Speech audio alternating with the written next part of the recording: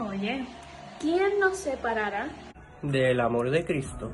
tribulación o angustia, persecución o hambre, o desnudez, o peligro, o espada. Como está escrito, Por causa de ti somos muertos todo el tiempo. Somos contados como ovejas de matadero. antes, en todas estas cosas, somos más que vencedores. Por medio de aquel que nos amó.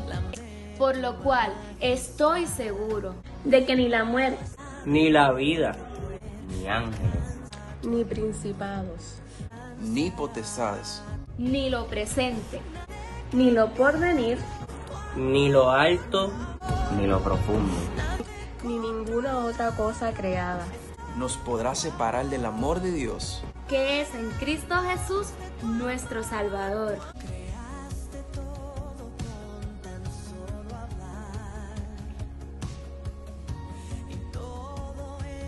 Y recuerda, quédate en casa. quédate en casa. Para protegernos todos, quédate en casa.